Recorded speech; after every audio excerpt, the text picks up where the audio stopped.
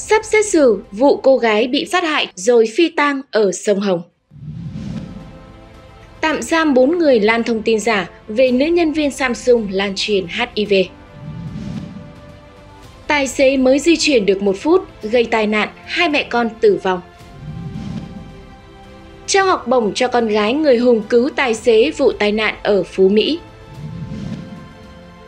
Người phụ nữ có 5 tiền án ở Bình Dương, trộm cắp ở trạm y tế.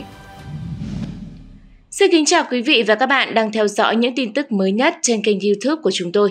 Vừa rồi là những tin chính sẽ có trong chương trình. Còn bây giờ, mời quý vị theo dõi phần thông tin chi tiết.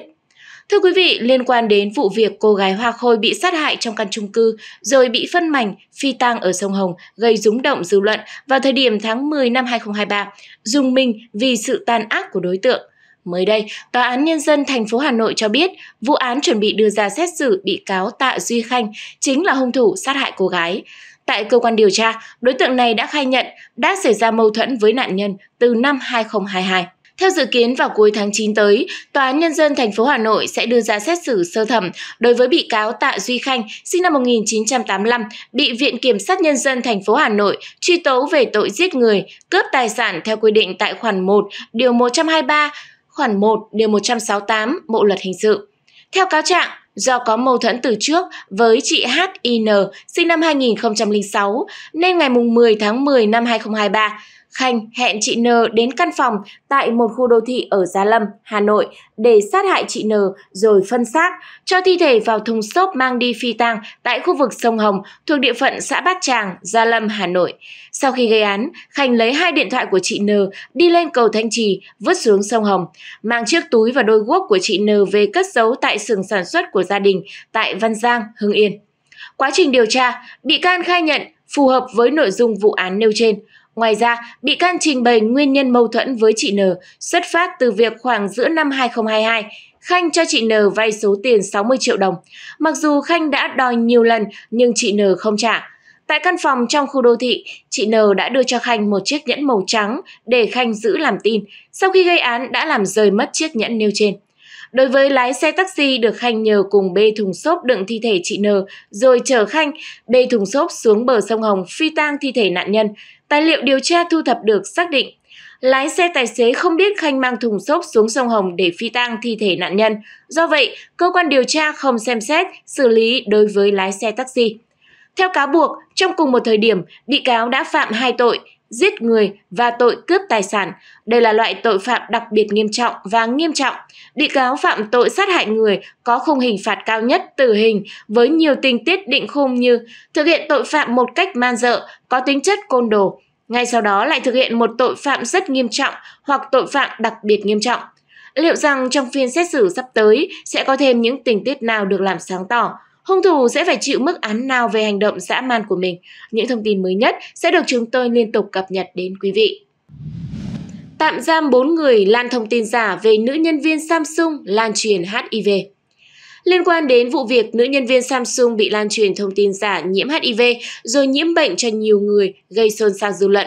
Theo thông tin mới nhất, cơ quan cảnh sát điều tra công an thành phố Phổ Yên đã ban hành quyết định khởi tố vụ án và bị can đối với 6 cá nhân với cáo buộc về hành vi truyền bá văn hóa phẩm đồ trụy. Cụ thể, ngày 10 tháng 8, cơ quan cảnh sát điều tra công an thành phố Phổ Yên đã ra quyết định trên để điều tra vụ việc. Những đối tượng bị khởi tố gồm có Nguyễn Đức N, Phạm Hồng Quy, Nguyễn Văn S, Trần Văn T, Nguyễn Lê và Nguyễn Ngọc H. Trong số này, Nguyễn Đức N, Phạm Hồng Quy, Nguyễn Văn S và Trần Văn T đã bị cơ quan chức năng ra lệnh bắt tạm giam. Riêng hai đối tượng nữ còn lại được áp dụng biện pháp cấm rời khỏi nơi cư trú do đang nuôi con nhỏ dưới 36 tháng tuổi. Theo thông tin đã đưa trước đó, vào ngày 26 tháng 7, mạng xã hội đã lan truyền các bài viết và hình ảnh chứa thông tin sai lệch liên quan đến việc một nữ công nhân của công ty Samsung Thái Nguyên nhiễm HIV và lây nhiễm cho nhiều người khác. Trước tình hình trên, lãnh đạo Công an tỉnh Thái Nguyên đã nhanh chóng chỉ đạo các đơn vị nghiệp vụ cùng công an tại các huyện và thành phố vào cuộc điều tra, làm rõ và xử lý nghiêm khắc những cá nhân phát tán thông tin sai sự thật này trên mạng xã hội. Qua quá trình điều tra, công an đã phát hiện trường hợp của NTN, 38 tuổi, trú tại thành phố Thái Nguyên, là người đã đăng tải bài viết trên Facebook với lời lẽ xúc phạm và hình ảnh một phụ nữ kèm theo danh sách 16 người đàn ông được cho là đã nhiễm HIV từ người này. Tuy nhiên, các thông tin này chưa được kiểm chứng và không phản ánh sự thật. Khi được triệu tập làm việc, NTN thừa nhận đã sai phạm trong việc đăng tải thông tin không đúng sự thật, làm tổn hại đến uy tín của các tổ chức, cơ quan và danh dự của cá nhân. Sau đó người này đã tự nguyện đăng bài đính chính trên Facebook cá nhân. Căn cứ vào các tài liệu thu thập được, Phòng An ninh Chính trị Nội bộ đã lập biên bản và quyết định xử phạt vi phạm hành chính với số tiền 7,5 triệu đồng đối với NTN về hành vi cung cấp, chia sẻ thông tin giả mạo, sai sự thật, xuyên tạc, vu khống, xúc phạm uy tín của cơ quan, tổ chức, danh dự và nhân phẩm của cá nhân.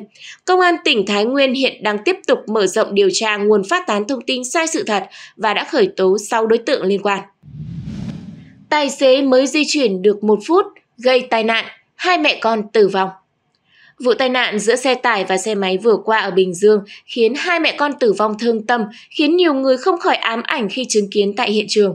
Theo camera an ninh trên xe tải và nhà dân xung quanh thấy được, tài xế xe tải vừa di chuyển được một phút nhưng lấn vào làn đường dành cho xe hai bánh thì xảy ra va chạm khiến hai mẹ con đang ngồi trên xe ôm công nghệ tử vong tại chỗ. Vụ tai nạn xảy ra quá ám ảnh và kinh hoàng. Tối ngày 10 tháng 8, lãnh đạo Công an thành phố Dĩ An, tỉnh Bình Dương cho biết, cơ quan cảnh sát điều tra vừa tạm giữ hình sự tài xế xe tải Nguyễn Văn Rôn, 28 tuổi, quê Thừa Thiên Huế, để điều tra về hành vi vi phạm các quy định về điều khiển phương tiện giao thông đường bộ. Nhi can Rôn là người điều khiển xe tải gây ra vụ tai nạn thương tâm, làm hai mẹ con ngồi trên xe ôm công nghệ tử vong thương tâm vào chiều cùng ngày.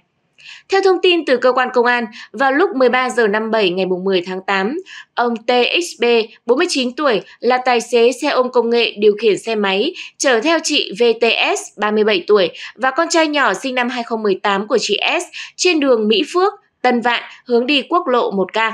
Khi đến giao lộ giao nhau với đường Châu Thới thuộc phường Bình An, thành phố Dĩ An thì xảy ra va chạm với xe tải biển thành phố Hồ Chí Minh do Ron điều khiển chạy cùng chiều bên trái. Va chạm làm ba người trên xe ngã xuống đường, hai mẹ con chị S bị bánh xe cán qua người tử vong. Tài xế xe ôm công nghệ may mắn thoát nạn. Qua hình ảnh trích xuất từ camera an ninh và camera hành trình, cơ quan công an xác định tài xế Ron đã điều khiển phương tiện chạy lấn vào làn xe hai bánh, sau đó va chạm với xe máy, dẫn đến hậu quả làm hai người tử vong. Theo các nhân chứng, trước thời điểm xảy ra tai nạn ít phút, mẹ con chị S bước xuống từ cabin xe container do chồng điều khiển. Khi chồng chị lái xe đi thì hai mẹ con đón xe ôm công nghệ để về nhà. Tại khu vực này, Ron đang đậu xe tải sát lề đường để nghỉ trưa. Khi vừa lái xe đi được khoảng một phút thì va chạm với xe máy đang chở hai mẹ con chị S. Cơ quan điều tra xác định hiện trường va chạm nằm trên làn đường dành cho xe hai bánh. Ô tô tải đã chạy sai làn đường quy định. Chỉ vì một phút chạy ẩu mà người tài xế đã khiến hai mẹ con nạn nhân ra đi thê thảm, quá đỗi xót xa. Hiện vụ việc đang tiếp tục được điều tra và làm rõ. Trao học bổng cho con gái người hùng cứu tài xế vụ tai nạn ở Phú Mỹ. Liên quan đến vụ tai nạn kinh hoàng ở cầu Phú Mỹ vừa qua, nhờ sự nhanh nhẹn mà ông Mai Lê Duy Quang đã cứu được tài xế mắc kẹt trong chiếc xe bẹp súm ra ngoài trước khi bị thiêu cháy, khiến nhiều người thán phục. Mới đây, công ty cổ phần xây dựng Cotecons vinh danh người hùng này vì đã có tinh thần nhân văn, hành động quả cảm, quên thân mình. Cụ thể, cô Techcons vinh danh ông Mai Lê Duy Quang, sinh năm 1980, người đã trực tiếp cứu tài xế trong vụ tai nạn liên hoàn, đồng thời trao học bổng cho con gái ông Quang cùng phần thưởng đặc biệt.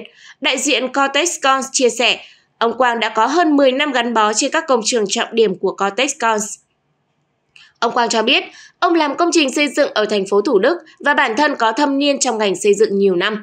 Ông có vợ và con gái sinh năm 2011. Do điều kiện cuộc sống còn khó khăn nên ông để vợ con ở quê, một mình vào thành phố Hồ Chí Minh thuê trọ ở thành phố Thủ Đức để làm công trình. Như đã đưa tin trước đó, chiều ngày 8 tháng 8, ông chạy xe máy qua khu vực có vụ tai nạn liên hoàn. Ông vội dừng xe rồi cùng người dân giải cứu một người đàn ông kẹt trong xe ra ngoài an toàn. Nhớ lại thời điểm đó, ông Quang chia sẻ, Tôi leo lên đầu ô tô tìm kiếm xem có ai mắc kẹt bên trong không. Tôi nhìn thấy một tài xế bị mắc kẹt và tìm cách kêu cứu. Tôi liền đập bể kính trước, định kéo ra nhưng tài xế bị kẹt lại bởi dây thắt lưng an toàn. Sau đó một người tìm được kéo nên ông cắt dây thắt lưng an toàn rồi cùng kéo tài xế ra khỏi xe. Chỉ 1 đến 2 phút sau, xe ô tô bốc cháy dữ dội. Cũng theo ông Quang, thời điểm đó ông chỉ nghĩ đến việc cứu người. Sau khi cứu người thành công, ông Quang nhận được lời cảm ơn chân thành từ tài xế. Sau đó ông lặng lẽ chạy xe về công trình ở thành phố Thủ Đức để tiếp tục công việc. Tối hôm xảy ra sự việc, những hình ảnh clip ghi lại cảnh ông cứu người được lan truyền trên mạng xã hội. Nhiều người thân đồng nghiệp sau khi xem clip đã nhận ra ông. Mọi người điện thoại hỏi thăm khiến ông rất vui bởi hành động của ông được lan tỏa. Tuy nhiên, ông Quang không dám nhận mình là người hùng vì trong hoàn cảnh đó ai cũng sẽ hành động giống ông. Ông cũng cho rằng công lao này không chỉ một mình ông mà là của chung tất cả mọi người có mặt lúc đó. Ông nói, thời điểm đó mọi người cũng hô hoán và tìm cách cứu người, người cầm kéo, người cầm bình chữa cháy dập lửa. Nếu không có mọi người, một mình tôi không thể cứu được tài xế ra khỏi xe. Sau tai nạn, nhiều người đi đường đã dũng cảm giải cứu người gặp nạn. Hành động này được người đi đường quay clip, đăng tải lên mạng xã hội và nhận được nhiều lời khen ngợi. Những hành động nhân văn, thắm đượm tình người vẫn luôn tồn tại trong cuộc sống của chúng ta dù trong bất cứ hoàn cảnh khắc nghiệt nào. Người phụ nữ có 5 tiền án ở Bình Dương trộm cắp ở trạm y tế. Tiếp theo chương trình xin được chuyển sang các thông tin khác. Vừa qua, Công an thành phố Thủ Dầu Một, tỉnh Bình Dương đã tạm giữ bà Mai Thị Hạnh, 53 tuổi, thường trú tại thành phố Hồ Chí Minh để điều tra về hành vi trộm cắp tài sản. Nữ quái này hành nghề trộm cắp ở trạm y tế, nhân lúc nạn nhân không để ý và hành động nhanh như cắt. Theo cơ quan công an vào ngày 1 tháng 8, lợi dụng lúc nhiều người đến trạm y tế phường Phú Lợi, thành phố Thủ Dầu Một để tiêm ngừa cho con, bà Hạnh đã lẻn vào trộm một chiếc điện thoại iPhone 11 của một người phụ nữ. Công an phường Phú Lợi đã nhanh chóng vào cuộc điều tra. Qua trích xuất hình ảnh từ camera an ninh, lực lượng công an đã xác định được bà Hạnh là đối tượng gây án. Công an phường Phú Lợi đã phát đi thông báo kèm theo hình ảnh của bà để nhờ người dân giúp đỡ. Nhờ nhận diện qua hình ảnh mà công an đã cung cấp, ngày 8 tháng 8, cán bộ và nhân viên nhân viên, trạm y tế phường Phú Lợi phát hiện bà Hạnh có quay lại trạm y tế và có hành vi khả nghi. Nhận được tin báo, ngay lập tức lực lượng công an phường đã có mặt đưa bà Hạnh về trụ sở để làm việc. Tại cơ quan công an, bà Hạnh đã thừa nhận hành vi trộm cắp chiếc điện thoại iPhone 11. Đối tượng còn khai báo đã có 5 tiền án về tội trộm cắp tài sản. Hiện lực lượng chức năng đang tiếp tục điều tra và giải quyết về trường hợp này. Các đối tượng trộm cắp tại nơi công cộng ngày càng tinh vi và manh động hơn. Vì vậy, mỗi cá nhân cần bảo quản cẩn thận đồ đạc của mình ở nơi công cộng và đông người, báo ngay cho cơ quan chức năng nếu bị mất cắp. Người dân thành phố Hồ Chí Minh, đặc biệt là những người yếu thế, công nhân lao động có thu nhập thấp, rất vui mừng khi có cơ hội mua sắm thực phẩm, hàng tiêu dùng với mức giá ưu đãi, tránh tình trạng giá cả hàng hóa tăng giá theo tăng lương. Điều này cũng góp phần đảm bảo thị trường tiêu dùng trên địa bàn thành phố Hồ Chí Minh. Không, nói chung là giờ đồ khó khăn, đồ đi làm tiền cũng ít nhưng mà nói chung ra là lâu lâu thì có anh chị cũng tốt cho người dân nữa, mình đi mua rồi thì những mặt hàng nó cũng vừa gia đình xài nữa. Mua hàng giảm giá với mua hàng không đồng là rất là vui. À, mua thích nhất là mua như à, hàng à, nước tương nước mắm này kia dầu ăn bột ngọt hạt nêm này kia. Để về mình đỡ lo được cái phần đó.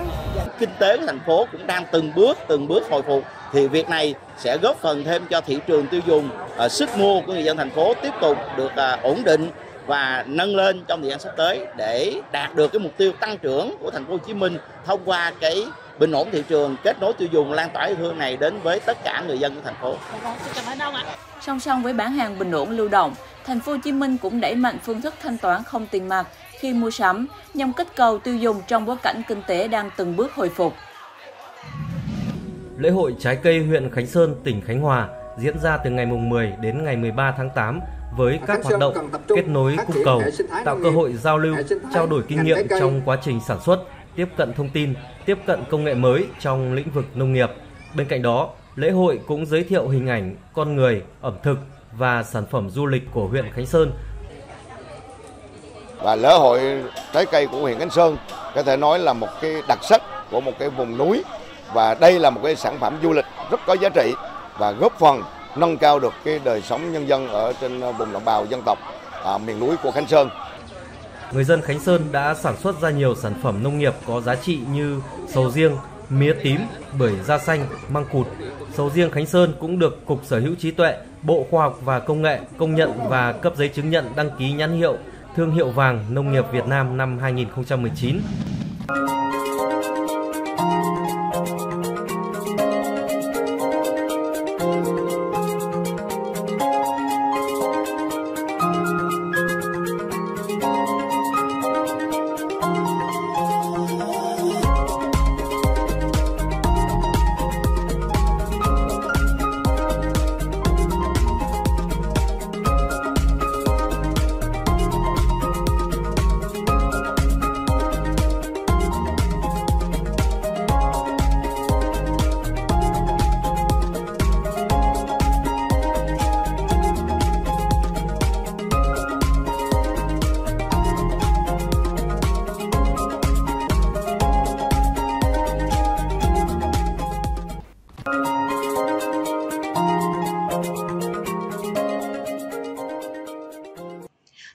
Vừa rồi cũng đã kết thúc chương trình hàng ngày của chúng tôi ngày hôm nay.